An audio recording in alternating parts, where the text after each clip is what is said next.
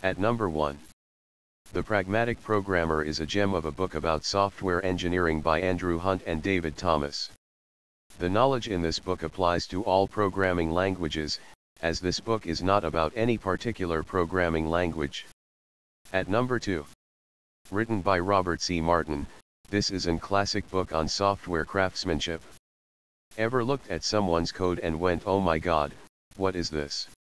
Rest assured, that someone hasn't read Clean Code. An epic book on software craftsmanship, which not only the book tells you how to write good code, but also an effective way to develop and approach software development. It will instill within you the values of a software craftsman and make you a better programmer but only if you work at it. At number 3. Again, this is another programming book from Robert C. Martin. It is recommended that you read this book after Clean Code. While Clean Code is about the code, this is about the coder. You may not always agree with certain sections given by the author but it does provide good food for thought. It may be not what you expect, but may just be what you need. At number 4.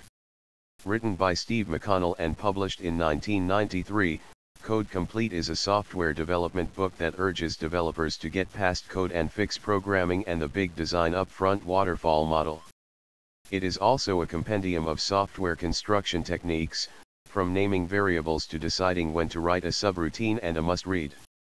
You surely do have an advantage if you read this book, as only a small percentage of software developers end up reading this book. At number 5. The Mythical Man Month, Essays on Software Engineering is a book on software engineering and project management by Fred Brooks, whose central theme is that adding manpower to a late software project makes it later. It is disastrous that year after year, we are making the same mistakes in software development. This is a must-read for every project manager and developer. At number 6.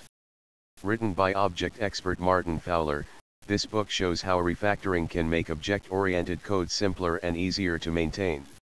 Today, refactoring requires significant design know-how, but once tools become available, all programmers should be able to improve their code using refactoring techniques.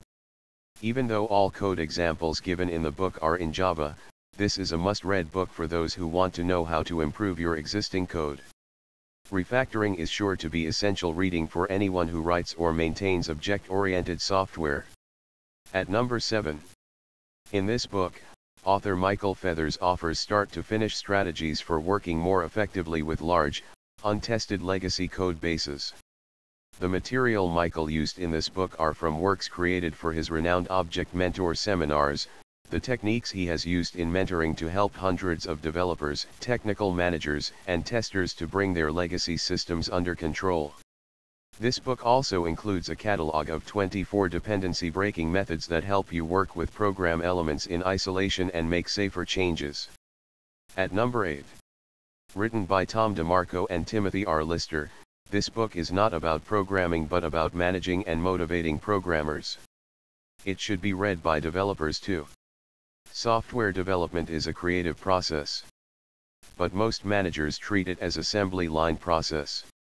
Developers are seen as substitutable devices in the machine. Generally, managers see giving tight deadlines as the only way to increase motivation. Peopleware shows you how to cultivate teams that are healthy and productive.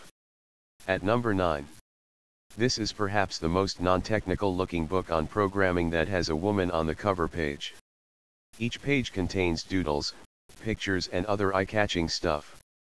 The book covers a core topic about programming, which is design patterns. While the book only covers every pattern that you might need to solve real-world problems, it also helps you create functional, graceful, reusable, and flexible software.